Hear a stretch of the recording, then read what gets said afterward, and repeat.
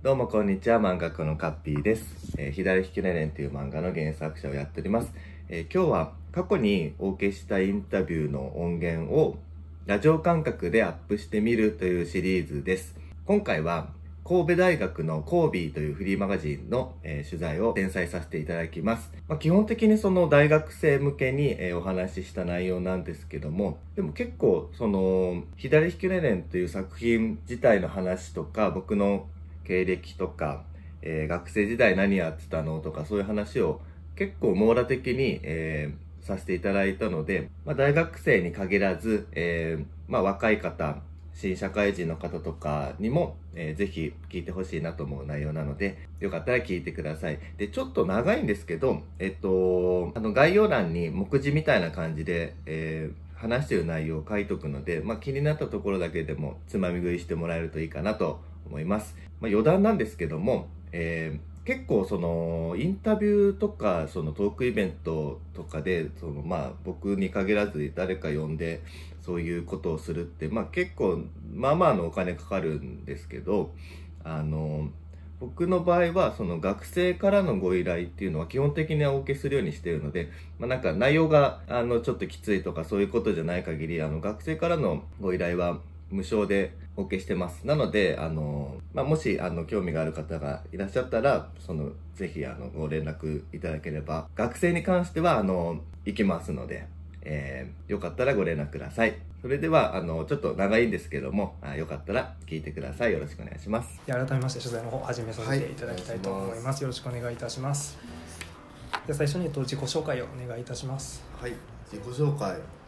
えっ、と、カッピーという漫画家です。はい。えー、っと左利きのエレンとかいろいろ書いてます。はい。本当に毎週楽しみに させていただいてます。あの先日完結した愛と愛沢もすごい好きな作品で、ああいう凝った話っていうのを書かれててすごいなといつも拝見しております。普段漫画家としてどういった活動をされているんですか？活動いや普通にあの今はこのこれのリメイクのネーム書いたりとか、はい、でもう一個原作の方もやってるんでそれは自分で書いてとか。今でも大きくその2つですね。ハイタイザーもあったしあまあまあたまにその広告案件やるからまあそれがなんだかんだありますね主には左利きのエレンの原作版とリメイク版の執筆という感じ、うん、なるほど。ありがとうございます。でまず、えっと、本日のインタビューなんですけどもカッピーさんご自身の話もそうなんですけど、まあ、結構左利きのエレンっていう、まあ、今話題沸騰中といいますか作品にまあフォーカスしてお話を聞いていきたいと思いまして、はい、まず左利きのエレンってどういった作品なんですかね？どういった作品？どういった作品？なんだろうな。でもまあ自分の実体験を結構ベースに書いてる気はしますね。はい。だからえー、っとね、まあ僕もその広告代理店で働いててサラリーマンやってたんで、はい、その時は別に漫画家になろうとは全然思ってなかったんだけど、なんかあの代理店の時にいろいろ思ったこととか。まあ、悔しかったこととかいろいろあるパッとあったんですけどそれをなんかうんなんか書いてみようと思ったんですよね、まあ、それがきっかけで生まれた作品広告代理店での経験っていうの具体的なエピソードとかも何か聞かせていただいたりしますか？ねそうですね。でも僕ねあのちょうど先日あのそれこそそのエレン登場する神谷とか柳のモデルの、はい、一部になった先輩と飯行ったんですけど、はい、まあ元上司と飯行ったんですけどあの俺がね最後に辞めたのがね5年目とかだったはずなんで、はい、まあ、5年目ぐらいの時に一緒に仕事しててで新卒のやつよりデザインできなかったって言われて、うん、だから本当にあのデザインが苦手でしたね。企画が好きで高校2年の時に代理店に行こうと決めたの、はい、でなんでかっていうとあのなんか勉強がそそんなに得意じゃなかったんででもなんかまあ中途半端だったんですよだからあのうん多分神戸大って結構頭いいとこですよね。まあそう結構都都内でいうとどの辺？都内横浜国立大学とかに近い。神戸って国立？はい。あ一応国立じゃあそぶっちゃけ相当偏差値高いでしょ。そうですかね。6何ぐらい。60ぐらい。62 62えっとね俺がね多分すげえ死ぬほど頑張って勉強してリットを駒線から。だからねあの結構絶望的でその時なんかへ結構あの先々のことは考えるタイプだったはい、将来心配だなと思って、はい、いろいろ考えてでも悔しかったのよそのあの同じ高校にはそういうやつはいなかったけどあの慶応とか早稲田に行くようなやつだとあの一緒に仕事するにはどうしたらいいかなって思って将来その数年、えーと、高校2年だからあの、まあ、まあ5年後ぐらいにそのあの今はこうなってるけど5年後ぐらいにこうこう行くにはどうしたらいいのかなって考えた時に、はい、まあ、得意分野をその最大限使ってなるべく条件のいいところに行くしかないと思う。多分就活とかもそうだと思うんだけどトータルで見られたらあいつにこれ分かってないこれ分かってないみたいな思うけどここだけだったら結構いけんなみたいなあるじゃん。そういう自分の武器は何だろうなと思った時にあのー、まあ原作の絵とか見ると本当かだと思うかもしれないけど当時は絵がうまいと思ってたの,、あの結構その美術とか絵は得意なつもりだったから、はい、あのまあ、デデッサンはねできるんだけどってすげえみんな信じてくんだけどデッサンはできるのできたのよ。だからあの美大に行けばいいんじゃないかなと思ってでその時にもう高校2年の時点ですげえいろいろ調べてあの美大に行ったらマックスどこまで行けるのかなと思った時にデザイナー系だったらあの広告代理店というのがあると。で広告代理店は一般的にはそのすごい倍率が高い企業であの早稲田慶応とか、まあ、俺の同期に東大とかも行ったんだけど結構レベル高い学校から頑張ってあの就職をくぐり抜けて広告代理店に来るって聞いてであのデザイナー枠だったらむさびかたまびって言われた、だから美大というよりもむさびかたまびに行かなきゃいけないと思ってでそこから広告代理店に行かなきゃ追いつかないと思って追いつくる、追いつこうと思ってあの高校2年の時点で軌道修正というかもう勉強はダメだと思ってあの美大受験の方に切り替え。だからあのそういう話戻すけどあのデザインよりもそのなんかもっとそのなんだろうなたまたま使えると思ったのがその当時使えると思ったのが絵だっただけでまあまあ高い給料の人生になるとか、はい、まあまあ恵まれた人生を選びたくてデザイナーになりたいの前にその代理店に入りたいというかいい会社に入りたいっていうのがあったから。ずっとそんな感じその今一番使えるのは何かって考えてやってきてるだけで、はい、そのなんだろうな。一応デザイナー職って入ったんだけどその時はその時でその周りも美大生だからさみんな死ぬほど絵まいし、はい、死ぬほどデザインできるのよ。だからもう美大の在学中は結構そのあ俺デザインダメだとか、諦めたのが早いんだよねその。周り見て俺勉強無理だわと思ったり、はい、俺デザイン無理だわと思った時になんかあのそっちで頑張ろうっていうよりもじゃあな何がいい使えるんだってその時々で考えるで美大生時代はその企画とかアイデアの方だと思ってフリーマガジン作ったりとかいろいろそのなんか周りのみんながポスターとか作ってる中で、俺はポスター作んねえぞみたいな感じで、就活もフリーマガジンこうやって持っていくみたいな感じでやってたから、あの結構逃げて逃げてその逃げてというか避けて避けてその混雑してるところを避けてきたって感じ。だからあの結構その戦略勝ちであの美大にあの大体にも入れたから、はい、結構そこのそこまでは間違ってなかったと思うんだけど俺がやっぱその結局そうなってくるとえーと、夢見た目標にしては代理店に入るとそこから先は逃げ逃げ場がないというか避け避けようがなくデザインを求められた、だからまあ勉強ししてなんか仕事してりゃ覚えるかなと思ったんだけどあんま伸びなくてやっぱモチベーションがないから、だからデザインはずっと下手なままで5年間経っちゃったんだけど、だからやっぱ周りにねその漫画にも出てくるような感じのすごい超優秀な AD の人とかいるわけだからその中でデザインあんま興味ないっすよねみたいなこと言ったらぶっ飛ばされるしなんかでもやっぱりなんかねそのアイディアをやりたかったんだよね結局。その脚本とかでも興味あったし、はい、脚本とか CM の絵コンテってあるじゃんあの、はい、あれとか好きだった CM の絵コンテとかになるとすげえ張り切ってもう40万ぐらい、うん、バーって持ってくみたいな 感じのやっててだからその時はね結構そそのそれ系の仕事に関しては結構みんなに褒められててとりあえずアイデアをたくさん持ってくるしまあ面白いあの使えるかどうかは置いといてまあ面白いアイデアだよねって言われてたんで、うん、CM のアイデアとかそのストーリー系はね結構その当時から結構好きでやってて、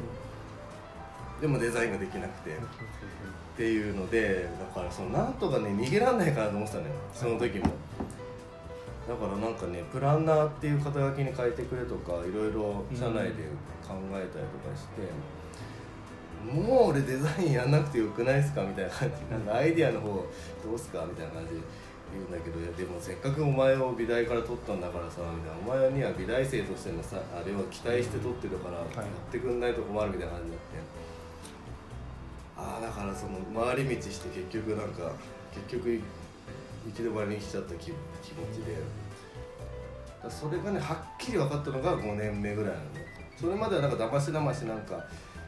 なんとかなんじゃないかなって思ってたんだけど、うん、5年ぐらい知った時にその超有名なあのデザイナーさんに教わる機会があってそのいろいろ教わっててめっちゃ褒めてくれんの。そのすごい気に入られてあのアイデアはめちゃくちゃ面白い。ってただデザインはマジでできないねって言われてそれの時にはっきりしたの。あのもうじゃあもう分かった。もうじゃあ転職するっつって、はい、デザインじゃなくてアイディアを買ってくれるところに転職するしかない会社はその、はい、もう美大卒として取ってるから美大生の職能を期待されてるしあのだから期待にそぐわなかったわけだからもう自分ののそのやりたいことを買ってくれるところに行こうと思って転職を決めた。だから挫折っていうとやっぱりそこのあのデザインじゃなかったなっていうところ。に気づくのに5年かかっちゃったなるほど。ありがとうございます。そもそもそのアイデアを出すのが得意であるとか、まあ、企画立案が得意っていうのの、うん、まあ、なんか源流みたいなものはあったりするんですかね？源流か。うんでもなんかその他の漫画家さんと話してて、はい。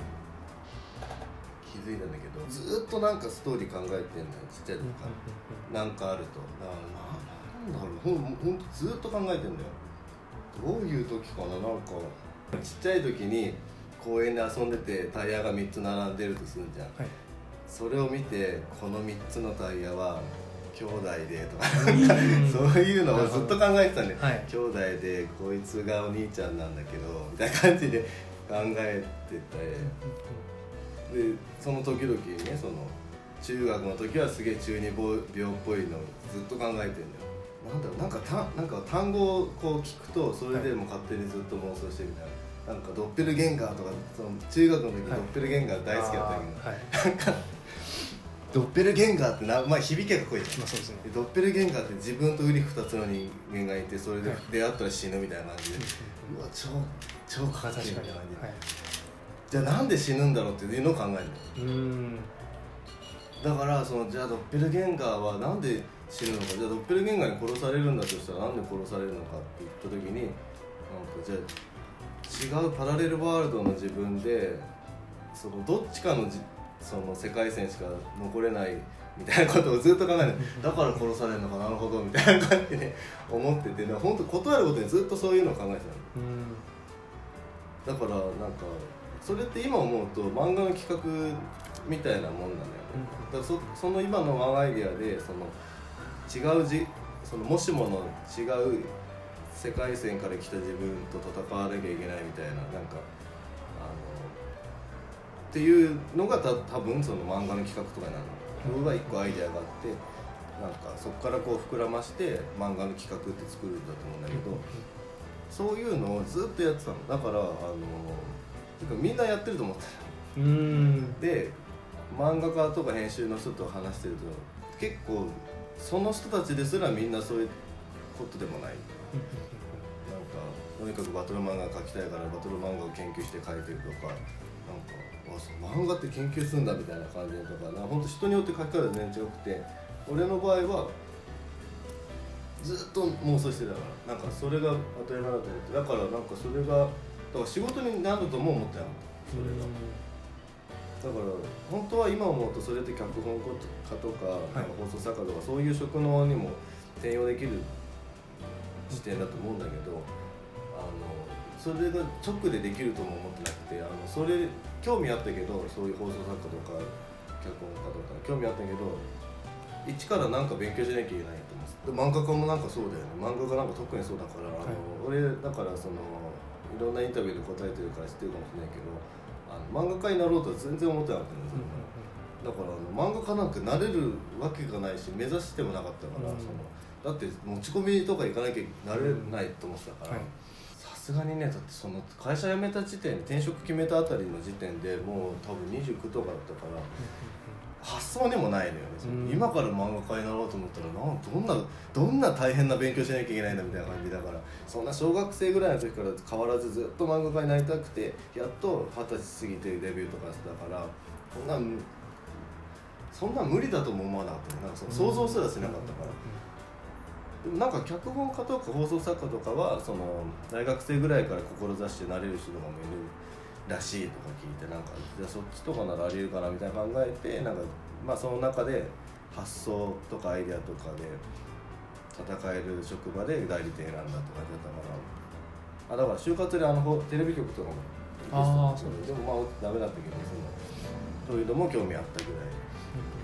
だからなんかその源流っていうとなんかその自分で気づいてなかったけどなんかすげえ勝手に妄想してたなっていう。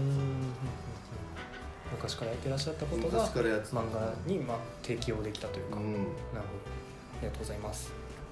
えっと、では作中のシーンとか人物についてちょっとお伺いしていきたいと思うんですけど、はい、まあ、左利きのエレンが全体を通して、まあ、天才とそうでない人たちの対比を描いた物語だと思うんですけど、まあ、天才の人たちが、まあ、言ってしまえば他人からの評価を気にせずやりたいようにやったものが評価されてるみたいな感じじゃないですか。で凡人の人はそうじゃないと思うんですよ、うん、凡人の人が、まあ、自分を何て言うんですかね自由に思うがままに生きていくために、どうすればいいと思いますか、ああでもだからねその結局その、えーと、漫画の中ではそのはっきりそう描いてないんだけど、うん、別にあの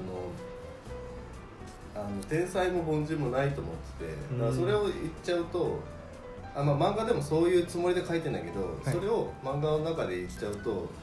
あの混乱するから、うん、えっと、分かりやすくその構図として描いてる。構図なんだよねそのこれこいつと比べた時にここでは勝ってる。だからその圧倒的に勝ってる、だったら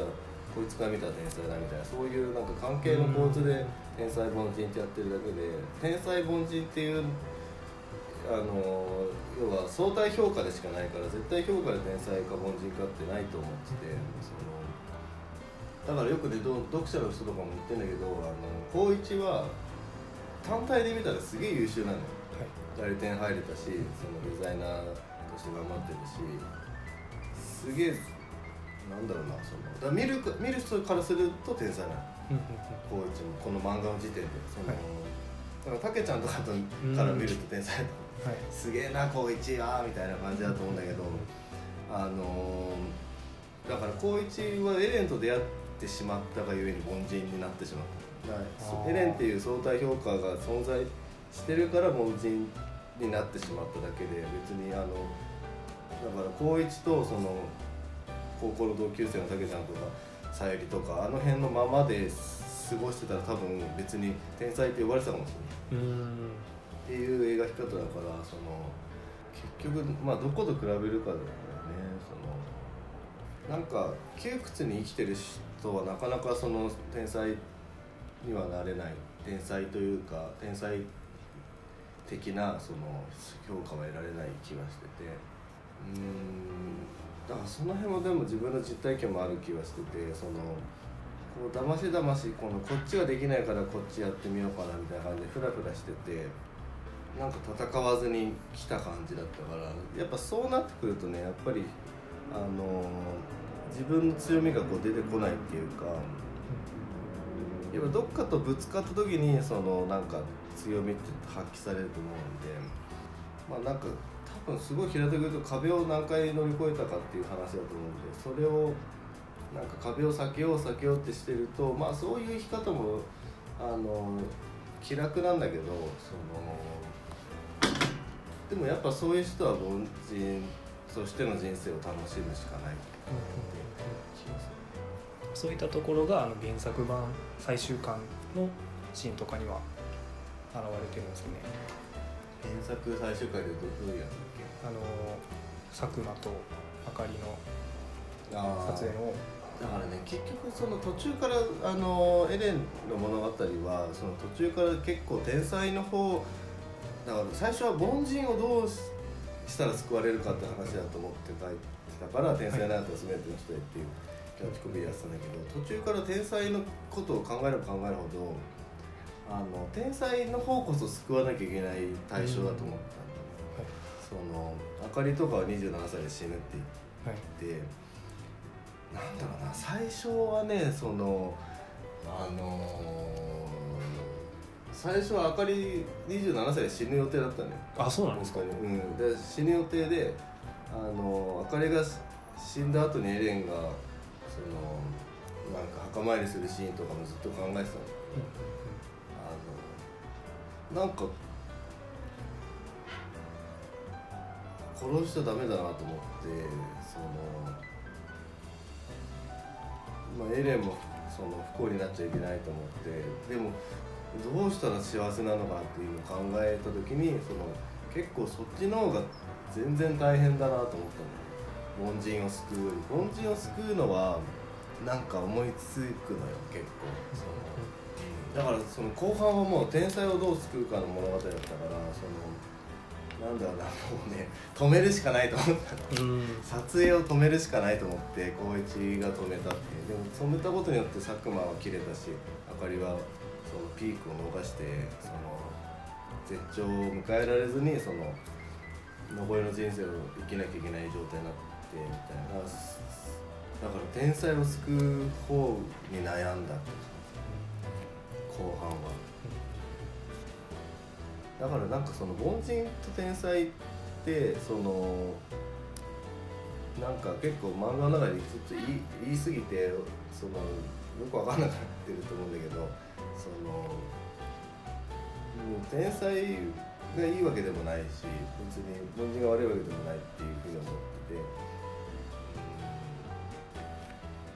うん、だからさっき言ったようにその凡人として楽しんで生きてる人はもう何も問題ないし、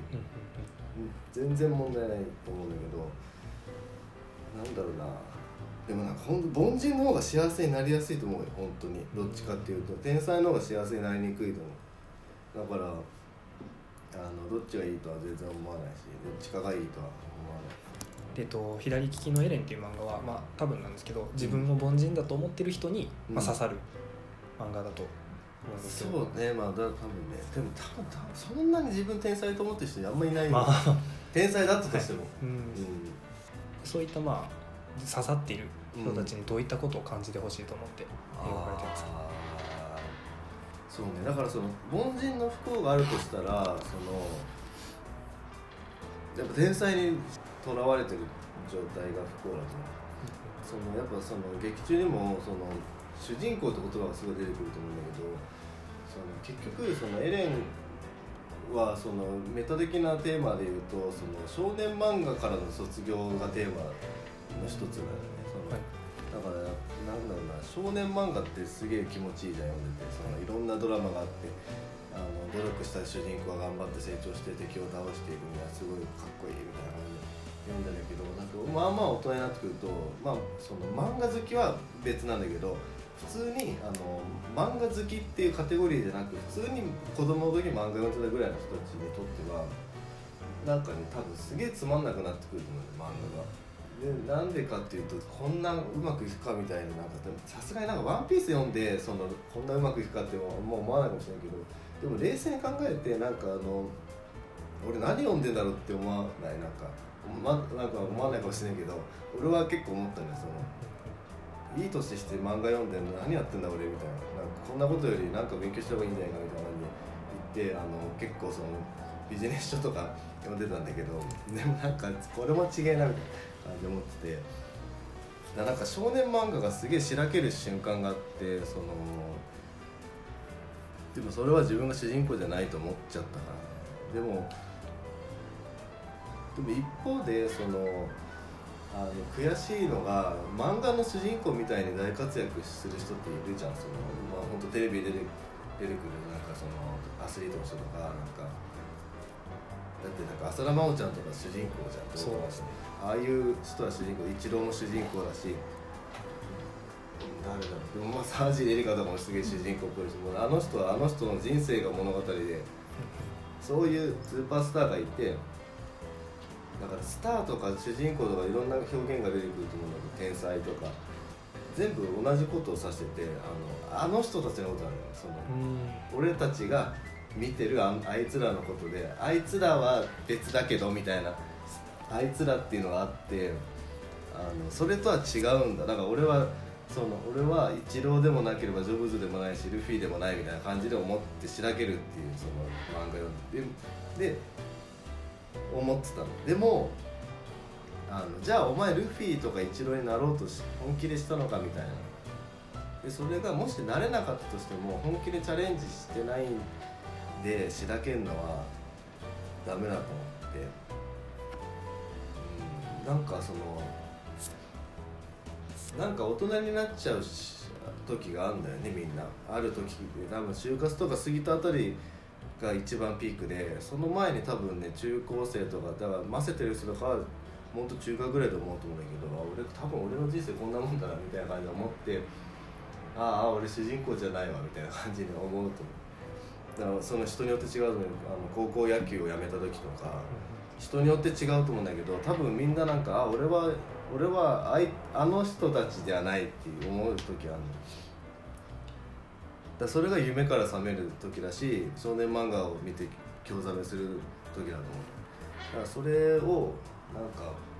経てそれを経た人に読んでほしくて。でなんで読んでほしいかっていうと最初の方のセリフであると思うんだけど本気出して諦めろっていうセリフがあるんだけど、その一回やってみて試してほしいの。でそれでマジでダメだったらあのすげえ気持ちよく凡人の人生を歩めると思うでそれは同じ凡人の人生でも全然違くてあの俺はルフィにはなれないイチローにはなれないって思ったからなれないっていう人とやってみたけどなれなかったって人の人生は全然気持ちよさが違うと思って。だからなんだろうなそのもう自信持って俺はダメでした凡人でした。でもあの人生最高ですみたいな人を増やしたかった。で自分もその書き始めた当時そのやっぱ避けて避けていろんなこと避けてなんかでも急に思わぬところでチャンスもらう。チャンスもらったわけじゃないけど急に漫画バズってなんか今だったらなんか俺書いたら見てくれる人いそうみたいな思って、えじゃあ一番書きたいの書こうかなと思って連書き始めたんだけどだから自分もその時点ではまだあの試してないかった。だからそのそういう試してみろよって漫画を書くことで俺は試してるっていう感じ。だからあのなんだろうな。エレンを書き終わったら俺は、ま、漫画漫画とかそういう表現脚本とかそういう表現の仕事を諦められると思ったの。だから会社辞めて漫画家になったって言ってるけどあのエレン書き終わって何にもなってなかったら会社員戻ろうと思ってだから俺もまだ試してる最中だからいつかあの気持ちよく諦められるかもしれないしなんだかんだ死ぬまでやってるかもしれないし分かんないけど、うん、だからそういう人を増やしたいっていう気持ちで書いた、うん、ありがとうございます。えっと作中にと人生が始まったら始まった時分かるという、まあ、セリフがあると思うんですけどもカッピーさん自身はその経験はありますか？うんでも始まったっていうとその試し始めた時かなと思ってそのだから試し始めた時期っていうと厳密に言うと多分エレン書き始めた時だと思うんだけどうん。でもやっぱエレン書き始めた時かなその連載の方原作版の連載、はい、最初見切り替えてそれが反響良くて連載が媒体であのウェブ媒体で決まって。うん。ウェブウェブ媒体だから別にそんなすごい連載じゃないんだけどその、まあ、なんだからでもその時が一番なんか覚悟したかなこれが面白くなかったら多分ダメだな向いてないなと思って書き始めたからだからこっちの「ジャンププラス」が決まってる連載始まる時よりも多分ケイクスの時の方があの始まった感はあったかもだどっちかというとジャンププラス決まった時はあまだまだ諦めなくていいやみたいな感じだったから多分あのっていう感じありがとうございます。やりたいことを見つけなきゃ生きていけないっていう。シーンもあったと思うんですけども、うん、そういう時をどうやって見つけていけばいいんですかね？やりたいことだから俺だってそのあの2個会社転職しあに、えっと、2社経験して、はい、急に漫画家になって今思うと漫画あの、まあ、いろんな自分がいいのよ。その代理店の自分、はい、美大生の自分とかなんかそのいろんな自分を知って上で漫画家の自分が一番自然なんだよね。そのだから元から漫画家になる人生だったような気がするぐらい今すごい自然なの。なんかなんで最初からこっち来なかったんだろうみたいな気がするぐらいすごい自然なんだけどうんでも分かんないよねその。その時々思ってたもんだって。代理店入った時はやった俺の人生始まったと思ったもん。でも始まってなかったの。だから結構あの勘違いもあるから あの後々にならないと分かんないし。分かんない。だから俺も5年後もしかしたらあの 全然違う職業になっててこっちだったと思ってるかもしれないからなんかね分かんないけどやっぱうんそんなすぐ見つかんないと思うから焦んなくていいいいとは思うんだけどあねそのやりたいことが見つかんないっていう状況の正体って俺でも人によるから分かんないけどあの俺が思った一個の答えがそのリメイク版で書いたとこなんだけどあの原作とリメイクで変えた部分なんだけどさゆりがもともと絵描きたかったことにしたのよ。リメイク版で。はい、でなんでさゆりはやりたいこと見つかんないのかなと思った時にあのさゆりは自分が絵描きたいって気持ちを封印しちゃったんだなと思ってだからだと思ったよ。だからエレンと出会っちゃったからさっきの相対評価じゃないけどだから光一はそれで諦めずにエレンと戦う道を選んだけどさゆりはもうあの幼少期に察しちゃったんだなと思ってあだからさゆりはやりたいことが見つかんないの。だってあったのあったのを捨てちゃったからそうだからさゆりは見つからないってことにした。だからそのもしかしたらでもそういう人意外といいんじゃないかなと思って。俺もあの本当にちっちゃい時は漫画家になりたい時あったし漫画家って楽しそうとなんかこノノートに漫画描いてたし。で今の仕事に近い脚本家とかも憧れたことあったし。なんかいいなそういうストーリー考える仕事いいなと思って。なんかドラマ化されちゃったりしてみたいなこと思ってたんだけど。あのまあ嘘嘘みたいなその無理無理みたいなでこうなんか置いといてみたいなそんなことは置いといてじゃあ俺どうしようかなじゃあ代理店かなみたいな感じになったの。だから結構なんかねその無理無理と思ってあの置いといちゃってる人が多い気がするんだよね。だからもう性格的に俺はやりたいことがない本当にないのはちょっと信じがたいのでもいるんだと思うの本当にマジでない人はいると思うんだけどそれはね親の育て方が悪い。なんか今子供育てるから分かるけど、はい、そんな人生なんか 楽しいこと教えてやれよっていう思うけどなんか普通に明るく楽しく健康的に過ごしたらなんかありそうなもんだなけどなって思ったけどね。本気でない人もいるんだろうねでもね。あります？やりたいことですか？もともとはなかったです。そっちの封印系やったんですけど大学入ってなんかなんか自分でお金が作れることを知ってから増えました、やりたいことが、うん、そうだよ封印。無理無理って思ってる人は多い気がする。でもねなんかその漫画家になって気づいたけどあの本当に向き不向きだからあの無理無理と思ってる職業ってとねレアなだけなんだよねその。だから分かんないけどプロ野球選手とエリート商社マンどっちが難しいですかって言われたら多分ほとんどの人プロ野球選手って言うと思うんだけど知らんけど多分松永大輔は証券会社に入れないと思ういや知らんよ知らんけど 多分入れないの、はい、だうんそうだだから小田栄一郎先生が、はい、えー、三つ星レストランのシェフになれるかっつったら多分なれないかもしれないみたいな、なんだろうなそのうんその人がそうなってるのが一番自然だっただけであってあのなんだろうな天職には倍率がないのよ。ねだからねあの倍率って言葉にみんな騙されてると思う倍率が高い低いって存在するじゃん確かに。電通の方が大変とかなんかそういうの多分いろいろあると思うんだけどあの本当に転職に行く人はあの倍率ないのよ。その1倍なのよ。なんか最近それ思ってふと。だから電通に入った人は別に1倍で入ってな ちょっと何言ってるか分かんないと思うけどあの倍率じゃなくてそのだから漫画家になる倍率ってものすごい高いと思うのよね、はい。漫画家目指してる人に対して漫画家になれる人ってすごい少ないと思うけど漫画家になれる人は他のこと大抵できないのそういう人ばっかなの。俺も広告代理店で活躍できなかったしよかったな漫画があってみたいな感じなのよ。かった漫画があって君はみたいな。君は天才だけどあの他の会社だったら本当になんかクビになってるみたいな人が天才なのよ。だからなんかそのでもその人はでも漫画家の倍率とかを考えたことないと思う。もう1倍で入ってんの漫画家に、俺は漫画家だからっつって、まあ、あの入ってるっていうか、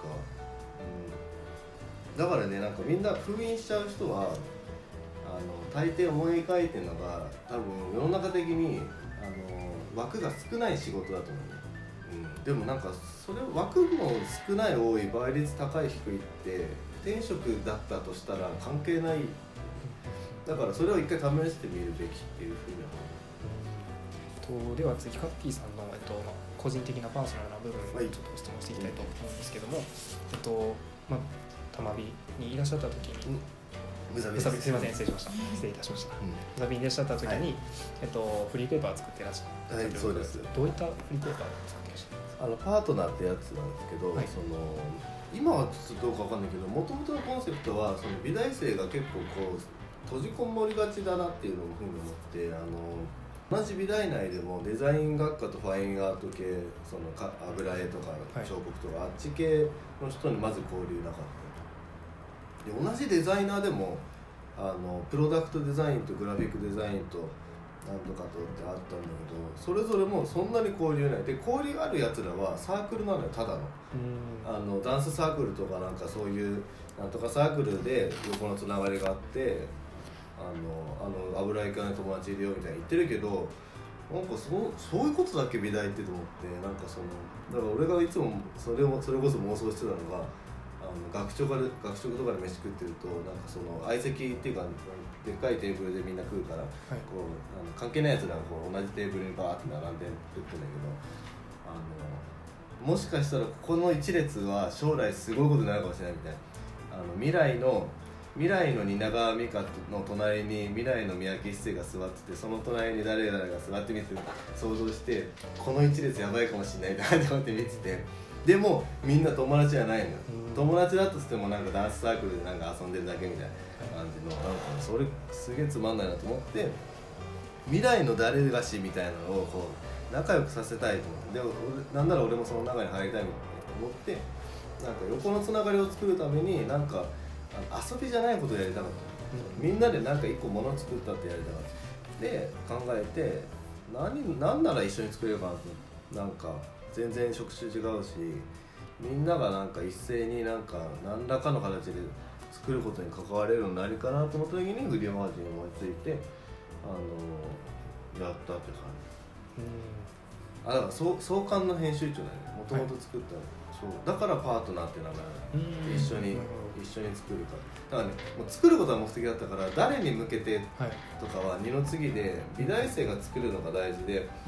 でもまあだからその作るってこととつなげるっていう意味ではやっぱり美大生なのかなと思って。だから最初のコンセプトが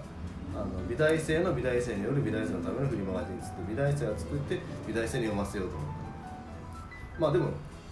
そんななんかすげえなんかすげえ考えてこうなったんですって言ってるけど普通の大学のフリーペーパーってそうだよねそのその学内で基本読ませるよね、はい、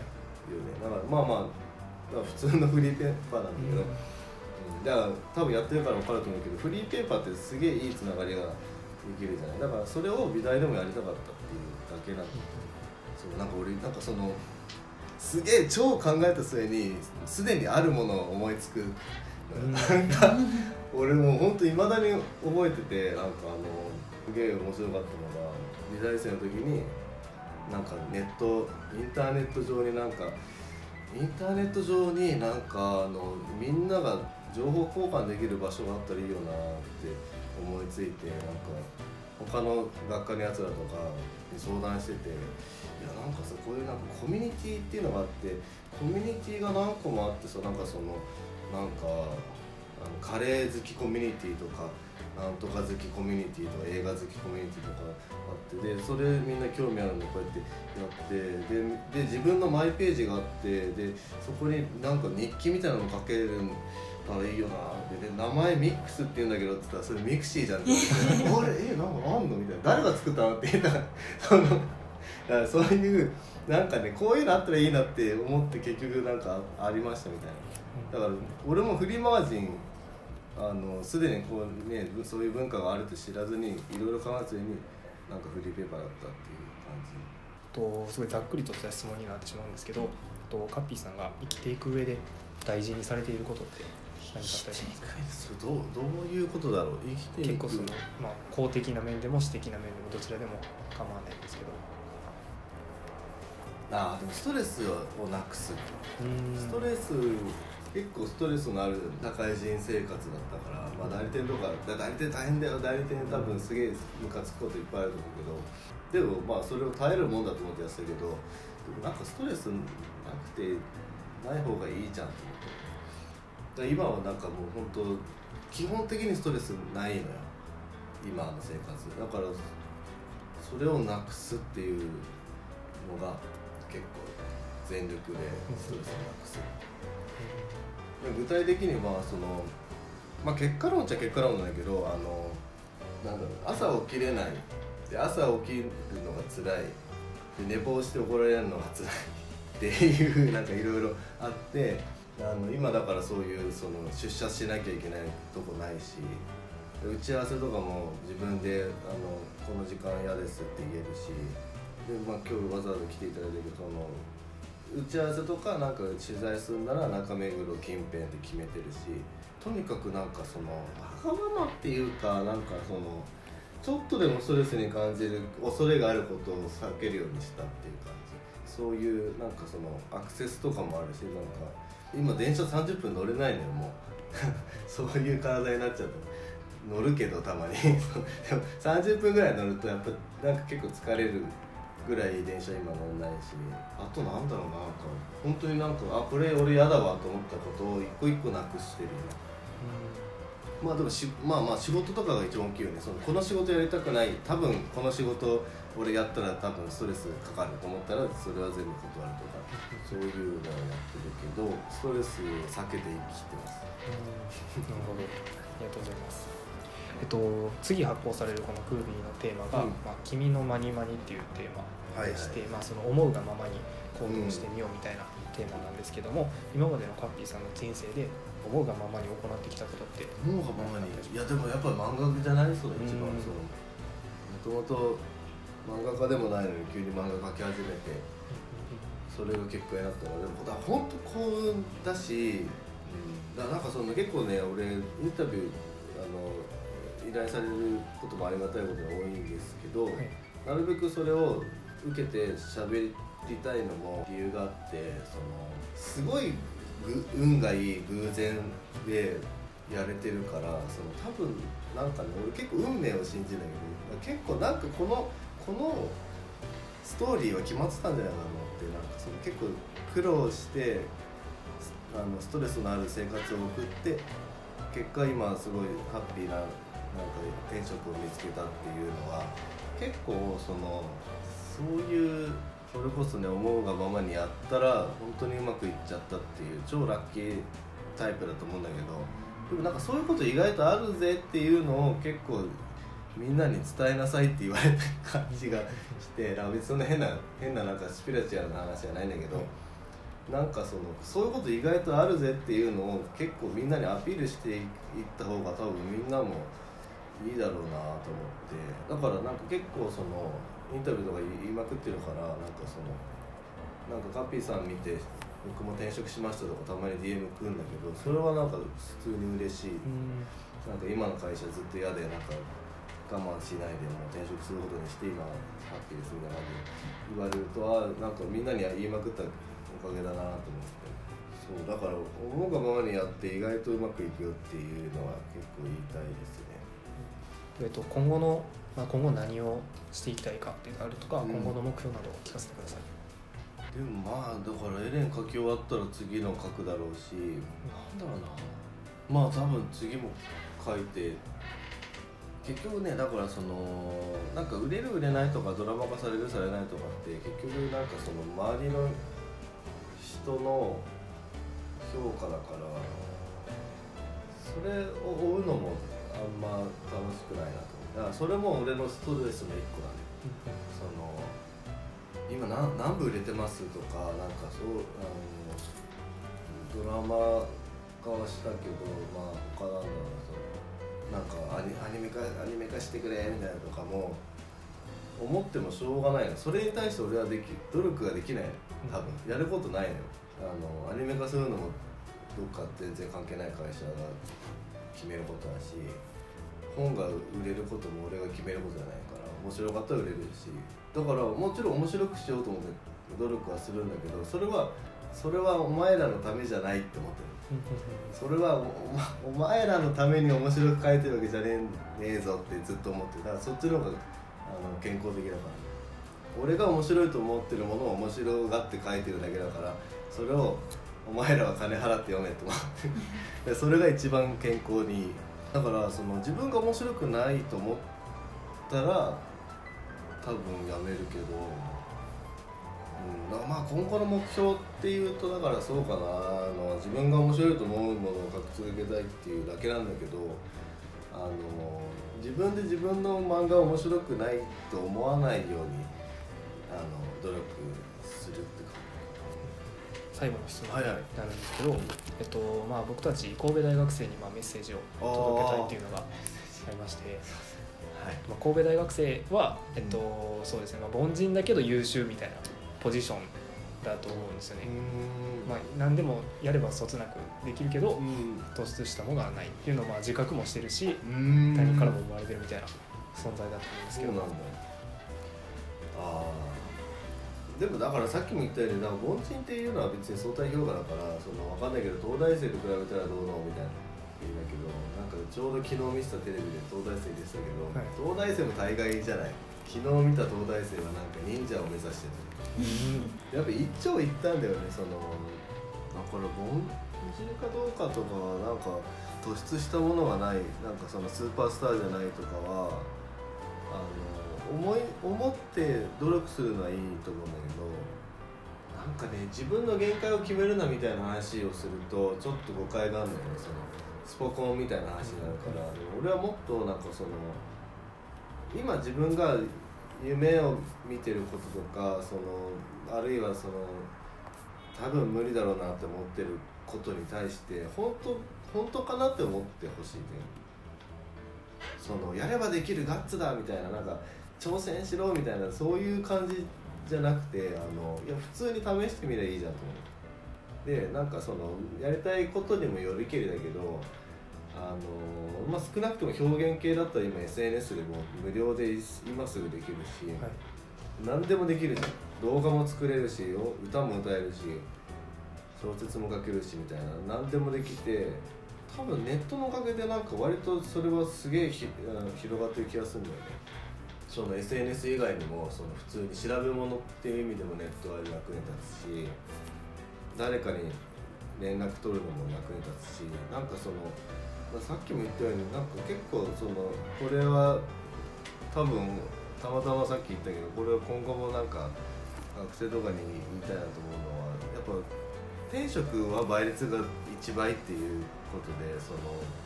なんか周りと比べると周りと比べて自分が劣ってるとかそういう発想にもなっちゃうしあるいはその倍率の話にもなるし倍率もそうなんか周りを見てるじゃん。この人数に対して受かるのはこの人数だからその中に俺が入れるはずがないみたいな感じで